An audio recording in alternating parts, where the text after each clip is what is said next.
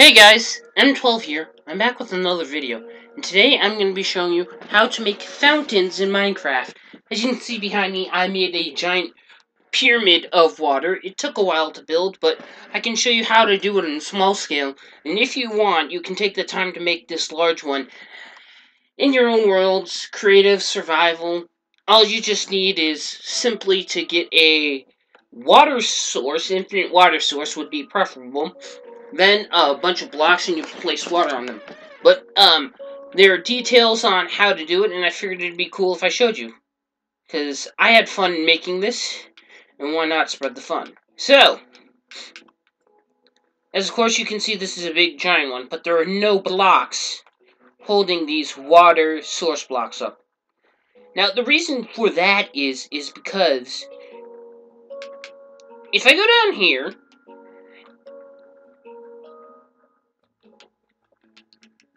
and plus one under there, put put a water source block underneath there, it does that, and I destroy all the blocks underneath it, and it's just like that. The water just flows, because the water source block is not affected by gravity, which is the main key, key component to this. But what you can do, if you get if you get a clear area, and do one that's much more flat,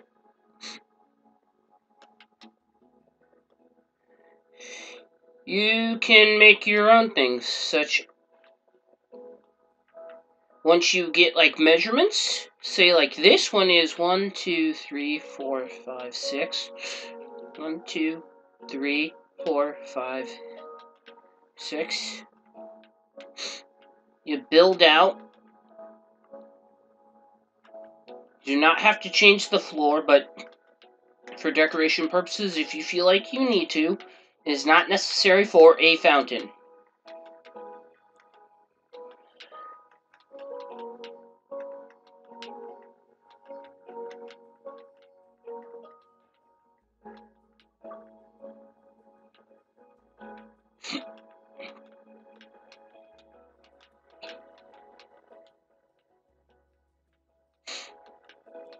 and you just put the water on top and you can do that. Although you can make much bigger ones and go more creatively if you feel like you want to.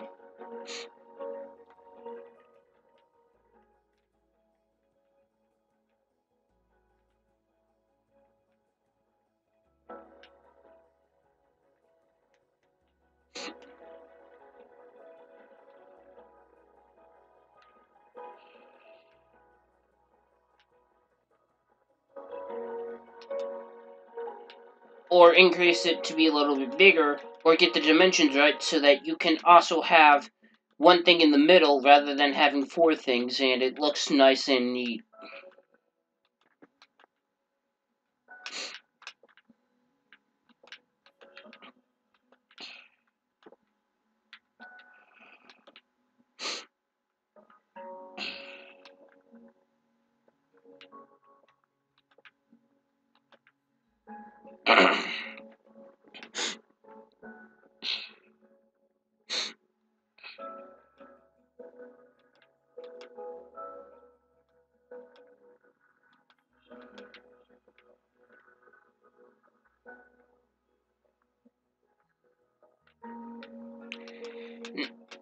Now I'm gonna try and make my own fountain, one that's not one that I'm actually gonna build like a sort of complicated one, but somewhat easy to build. Hopefully so that you guys can get a visual understanding on how this actually works. Now, you also do not have to use stone for this, but uh, if you're on survival, most likely you'll probably use stone or wood. Because, I mean, I think it would honestly be a waste if you used gold or, um, or diamonds on this. I mean, you could trade that to a villager and get a lot of good things for it, I guess. Or, or to help you get a good start if you didn't start in a okay spot for survival, but it's whatever.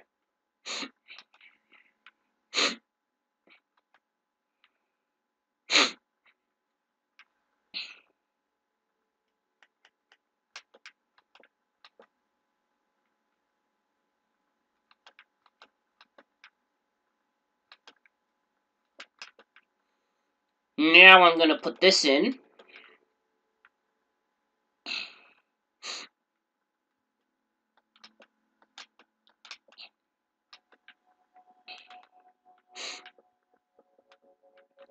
This is pretty much scaffolding because you need to have blocks in the sky. Because I can't just place a block in thin air.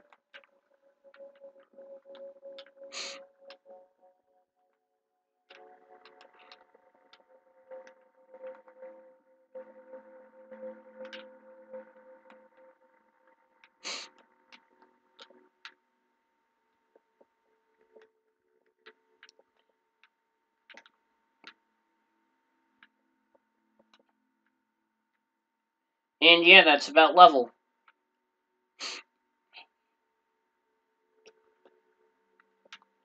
So now what I'm going to do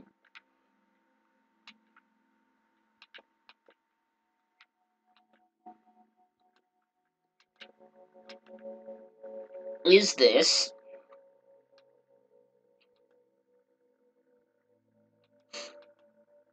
Some of you might know what I'm trying to do already, but uh,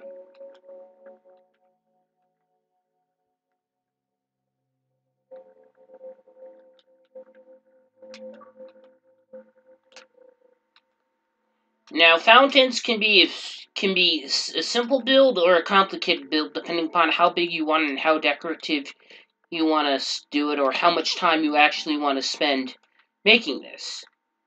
But however you want to do it is up to you. Be yourself when it comes to fountains or anything really in Minecraft. But watch this. Duh!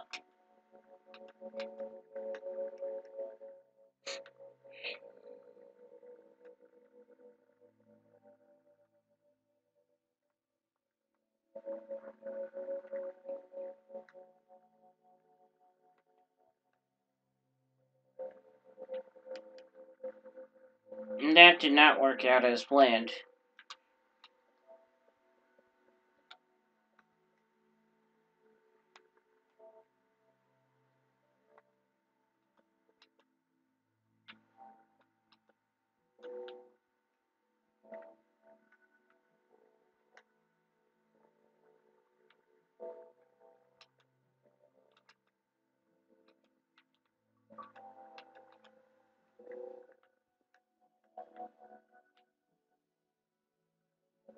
And it caused a lot of leaking problems. This is why you want to make sure you're building this a safe distance away from anything that rather not have that you rather not have water on.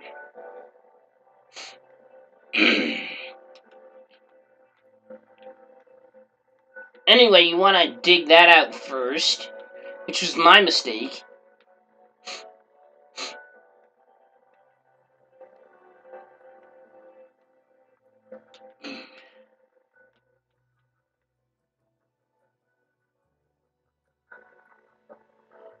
And that did not work out as well. Again. Some of the physics and characteristics of this may have changed.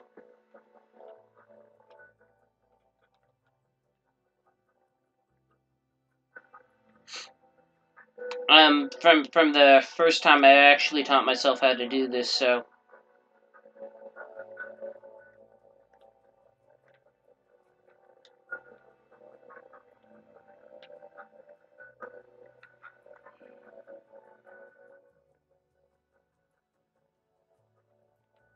It froze. Crap.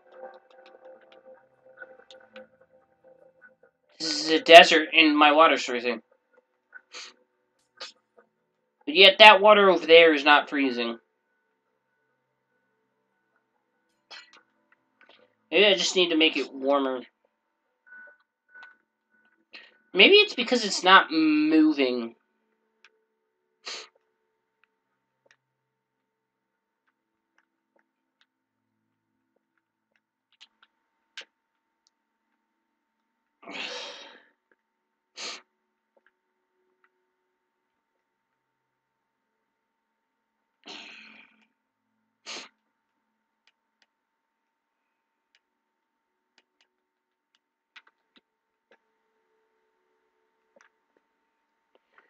These blocks are no longer necessary. But you can keep them there or take them away for the decoration of the fountain itself. Now that's causing a problem because I misclicked.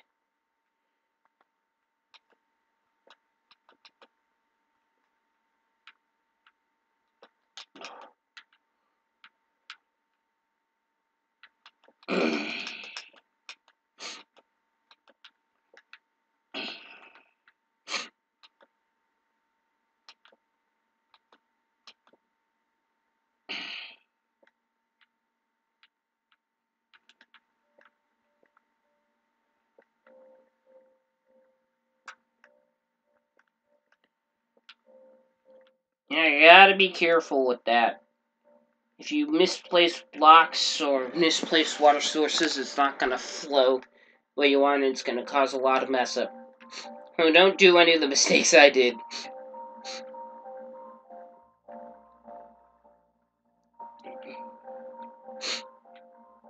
Now, what I think is needed to finish this off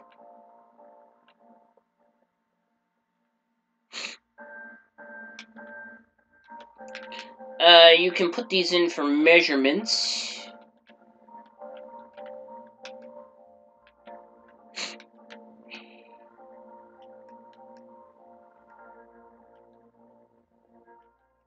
Um, I always do. You you can just remove them when necessary.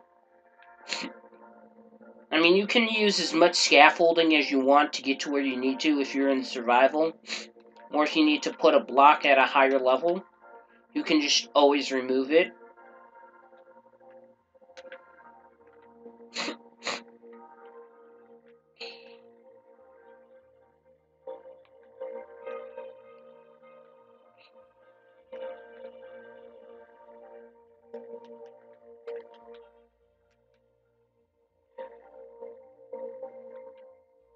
Oh, whoops.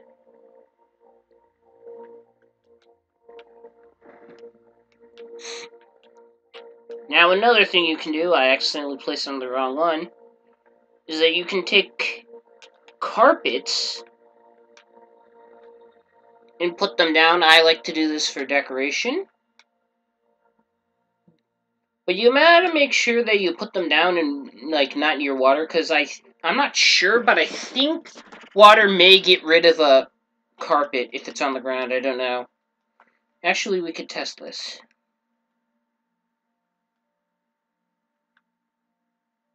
I guess it does. That's not going to matter, because water's not supposed to go here.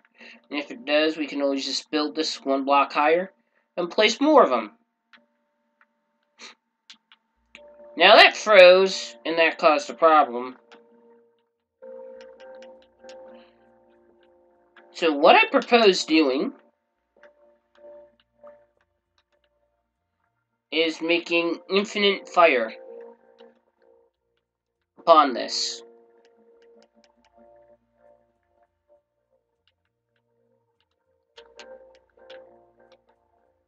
To reheat it up.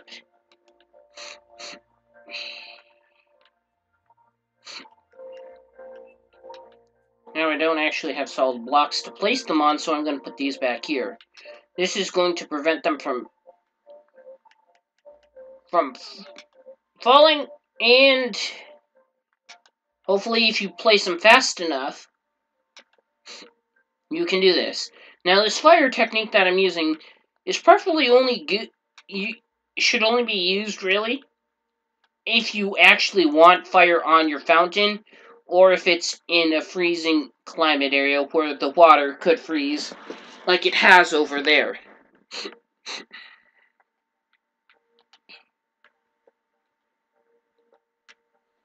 What I'm doing for the ones that froze once I put fire on them is to put water to replace the ice with water and see what happens. Also, this is another way you can get uh, uh, water into the nether is by putting ice down and having it melt. It works on the Xbox 360, but it does not. To my knowledge, it, I haven't seen it work on any videos I have watched. For In the Nether on PC or Mac. But that's because I don't play that version. If you do and you know about that, please let me know in the comment section down below. But anyway, I think I'm almost done.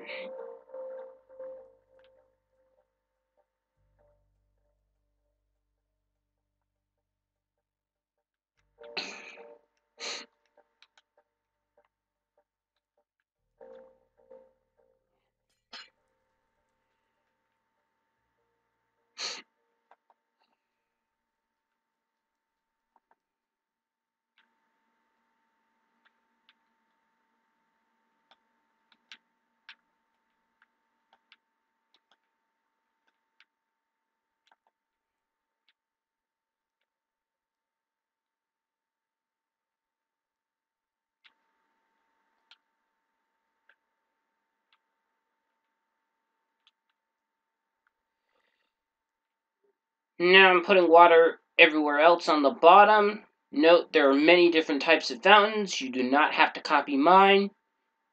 I'm okay if you copy mine, but, but I encourage you to see what, what you can do in Minecraft and come up with.